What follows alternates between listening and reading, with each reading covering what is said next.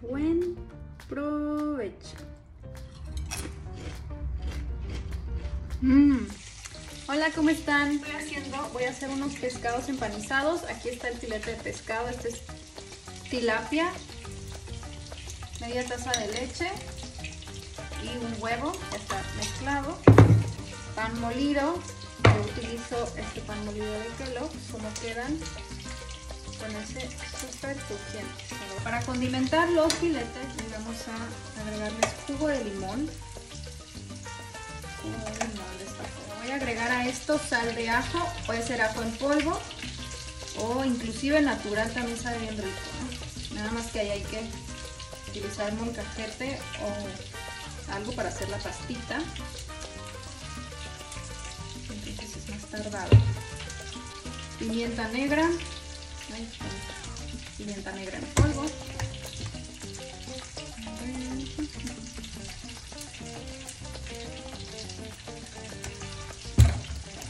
Y sal. Un poquito de sal.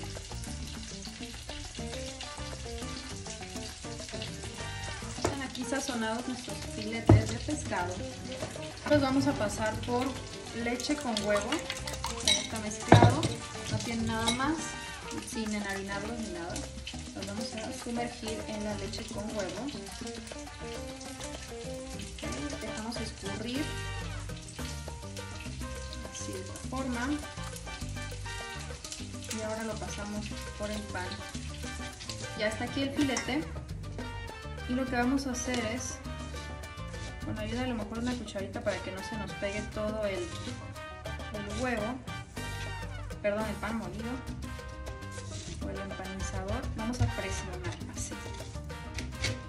Tenemos que presionar para que se adhiera todo el pan, porque si nada más lo pasamos así no queda bien empanizador, amigos. Eso sí, tienen que presionar.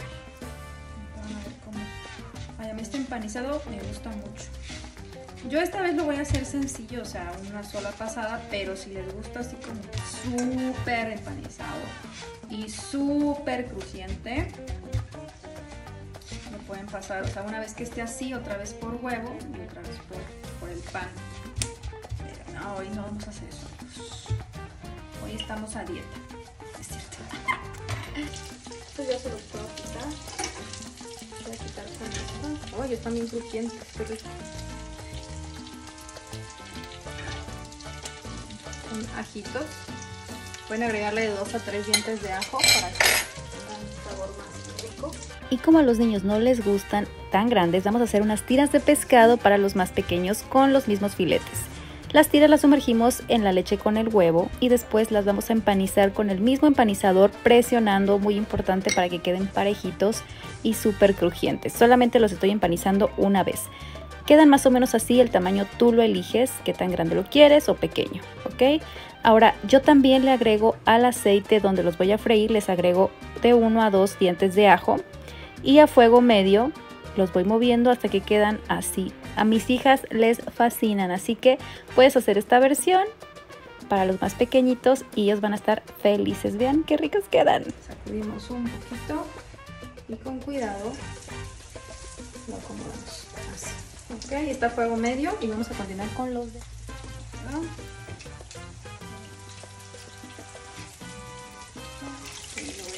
Este ya está bien dorado. Con mucho cuidado.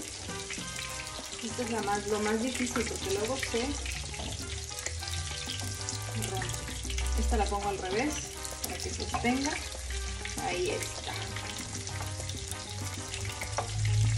Ahí está. Como que aquí no lo pusimos bien, pero bueno. Ahí está quedando, está quedando. Como esos están muy grandotes, utilizo doble palita para evitar que se vayan a romper. Ponemos. Con cuidado. No está más chiquito. Quedó doradito. Porque cuando es ensalada, para que dure un poquito más, con las manos y ya no se oxida tan rápido. Vamos a rebanar un jitomate.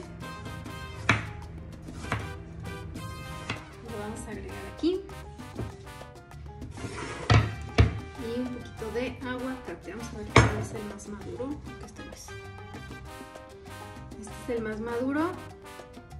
¿Cómo sabemos? O sea, no está duro, se siente como ligeramente suave, no aguado, ligeramente suave. Vamos a ver si estamos en lo cierto. ¡Tarán! Uh, más fácil de agregar el aguacate es haciendo unas líneas así.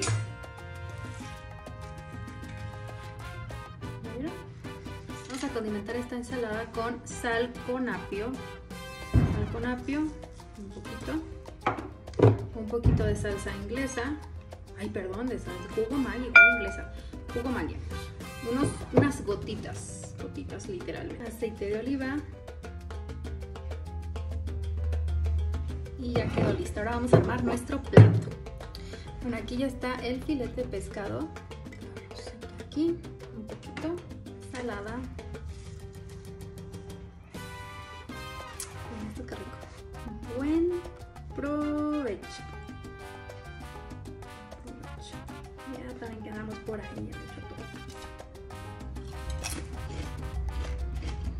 Mmm. Mm.